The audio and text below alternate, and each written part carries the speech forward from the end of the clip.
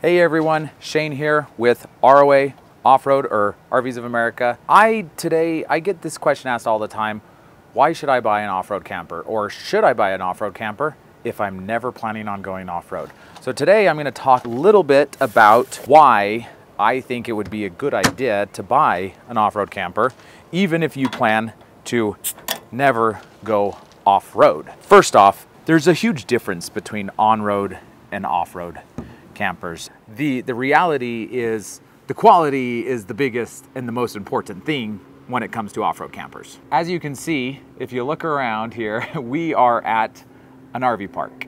And if you watch us and you follow us, you might think this is kind of strange is because we're not typically at campgrounds or RV parks. Now, I will tell you, and no, uh, no shame in it, I go to campgrounds all the time. And there's a lot of reasons to go to campgrounds on trips when you're traveling places. So I'm not like this anti-campground person. These off-road campers, they they fit in, well, they don't quite fit in because they're so cool looking when you pull into these campgrounds. A lot of people are to be like, "Whoa, that thing is so cool. But typically here at ROA, we are trying to showcase how these campers can go anywhere. Eh, you know, a lot of people call in all the time and they say, man, the places that you take those campers are crazy. I would never want to go there. But I do really want a quality trailer. And the reputation of the camper industry in America is they don't build quality trailers. And now I want to tell you a few reasons what it is that makes an off-road camper different from an on-road camper and why you should consider an off-road camper over any camper that you can buy in America. More than anything else, it's the quality. The longevity of the camper is going to hold up way beyond anything else out there in the market. And you know, you can come to a campground like this. You can enjoy the facilities. You know, we come to campgrounds when we're in our travels because they got swimming pools and they got facilities. You can fill up your water, you can charge your batteries typically I like to be off grid, right? I, I like 90% of my camping is off grid, but you know, we have all the same hookups and power components as any other standard trailer. So you can come here and plug in and have water and fill up and, and then you can go off grid. But in between, you know, being off grid, it's nice to have a place to stop and get all stocked up and, and filled up and then move on to your next adventure. Or you can always go to campgrounds. Because it's off-road doesn't mean you have to take it off-road, right? That may be obvious, but for some people, we get that question all the time, right? The, the, the thing is, an off-road camper is more expensive than a standard camper. That's just the reality. And the reason is because it's built, in some instances, 10 times better. Like some of the components on these cost twice as much, sometimes three times as much. Some of them are 10 times as much. For example, the latches. The latches in an off-road camper, most of them are 10 times as expensive as what you're gonna get in a standard camper. The latches on the outside compartment doors, the hinges, right? They, they all cost at least five times, sometimes 10x, because the, the standard ones are these little butterfly things, they fall apart, they just rattle loose, and they break. And they break on the on-road campers, even though they're on-road, they still break. These are designed to go off-road and hopefully not break, which means when you are on road, the longevity of your camper and everything in it is going to withstand so much better than a standard on-road camper. And now one of the things that I want to talk about that's so, so, so important in an off-road camper that you don't get in standard campers in the United States is the suspension. The suspension in most standard campers in America are solid axles and leaf springs. And solid axles and leaf springs are the same type of suspension that they've been using in horse carriages in the 1800s. Yes, that's correct. You heard me right.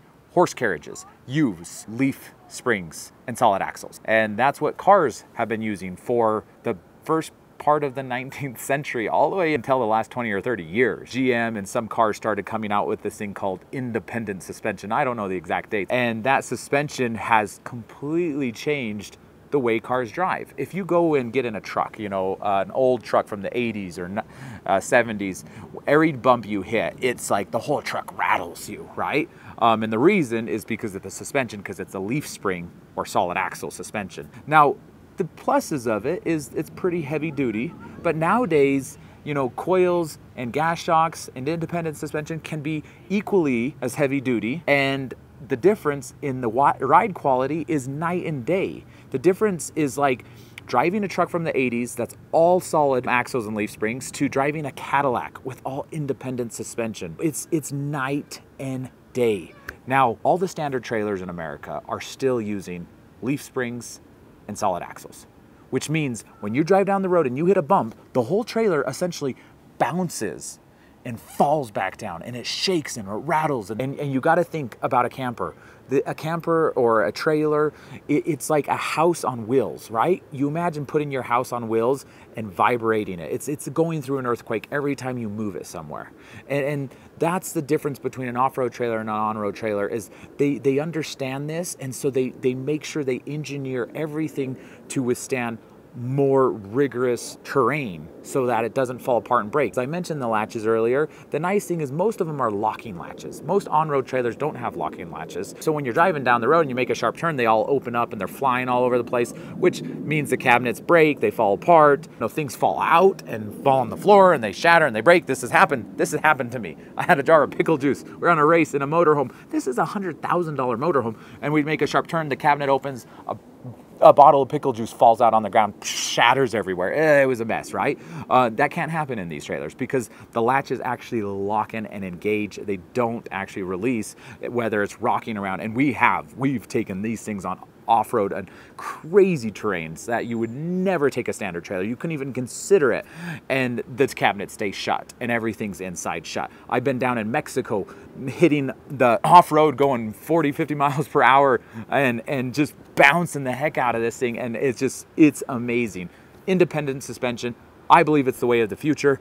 It is the way of the future of every automobile. And why wouldn't it be the way of the future for trailers? But the American trailer industry is typically running anywhere from 50 to 100 years behind. But maybe in 50 years, you'll start seeing all the American made trailers with independent suspension. But that will also come with a price increase, you know, because it costs more money and you pay for what you get, right? The, the last thing I want to talk about is power system. Because a lot of people think, you know, like these off-grid systems, you know, these trailers, they have they have more robust power systems, right? They have solar, uh, they have bigger battery banks usually. They have inverter systems. And I don't want to get too much into the technical stuff, but the main thing is like their power systems are more robust. And you might be like, well, if I'm just going to trailer parks, I don't necessarily need that because I'll be able to always be plugged in. You're new to camping and trailering. There's something that I need to tell you. And a lot of people don't know this until they actually go out and camp. But most standard American trailers do not come built to totally run everything off grid. You have to be plugged in. And you may say, I'm gonna always be plugged in, it's because I'm not gonna do crazy off road stuff. But let me tell you Yellowstone, Yosemite, Zion National Park, the Grand Canyon, most of these parks do not have full hookups. Most of these sites are actually considered dry camping, which means you don't have water, you don't have sewage, and you don't have electricity. So, you know, when you go out and buy a brand new camper, you know, like just a standard American camper, you're gonna find out real quick when you go out and you're in Yellowstone having such a great time. Yeah, the water systems work off of batteries, um, the fridges work off of batteries and propane, and lights work off. But if you wanna plug in a cell phone, if you wanna plug in a laptop, if you want to watch a movie with your kids what if you want to you know run your air conditioning what a lot of people don't know is most standard campers cannot do that unless they're plugged in to a power source because their batteries are way too small, not capable enough to do that, and they don't have the correct systems and componentry in them to be able to run any of that stuff unless they're plugged in completely. And that's just something that, you know, you, you make the mistake and you go and buy it and you think, well, this camper is so much cheaper. Those off-road campers cost more, but it's like, yeah, but when you're putting an electrical system in it that's anywhere from five to 10 grand more expensive, that's the reason why it costs more. Another thing that I need to talk about when it comes to electrical systems is the batteries. Batteries are probably the biggest pain point in trailer or camper ownership, or it used to be for us and for our customers. We don't call our, the people that buy from us customers, they're roamers, right? So for our roamers in the past, it was the biggest pain point. And the reason why was because most standard campers that we used to sell in the past, they didn't have solar systems, right? So when you park it out next to your house and you have it in storage, if you're not very vigilant, making sure it's plugged in, making sure it's charging, if you're not vigilant in the battery maintenance, more common than not, you're replacing the battery every single season. I see people replacing batteries every single year, and they're not cheap. They're not they're not inexpensive. It's one of the biggest pain points in camper, trailer, or RV ownership in that I think that we've ever had is because people are doing it over and over and over and over and over. When we were carrying more standard American trailers in the past, we spent somewhere upwards of ten to twenty thousand dollars a year on batteries. And the reason is because even if we are super vigilant and good at maintaining the batteries, it's inevitable. Somebody goes in, somebody, a customer wa off, walks off the street and walks into one of your campers, looks at it, they turn a light on,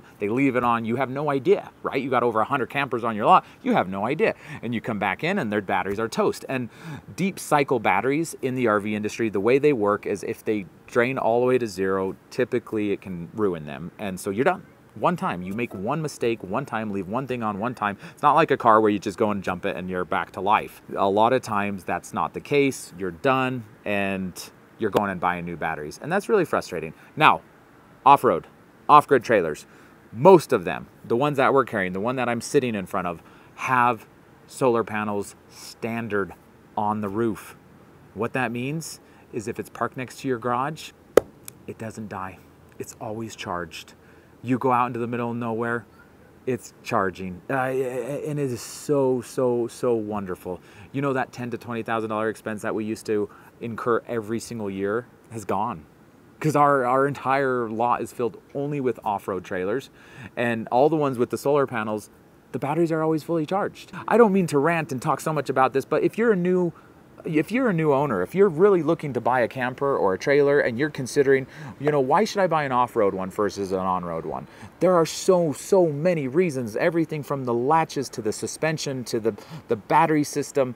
And it's, it's the longevity. The reason why you go out and buy a camper is because you want to go out and have fun. You want to camp. You want to enjoy yourself. You want to go places with your family. And when you're having issues constantly, you're having to fix things constantly, then camper ownership becomes not really fun. Next thing you know, you're selling it because you're not enjoying it. You know, and so so that that's it. There's there's a lot of other things that I could mention from the the construction, from the frame, you know, everything on these vehicles are more robust. The hitch systems are better. They're better for towing it and they're more balanced, weighted better because they're designed for that off-road, but it also makes the on-road experience so much better. And so it doesn't matter whether you ever go off-road. Off-road camper is by far the best thing you can buy on the market over anything else. If you have any questions, if you have any comments, please make them below and I'd love to answer them. We can make another video if you want us to go into more details on anything that we were talking about.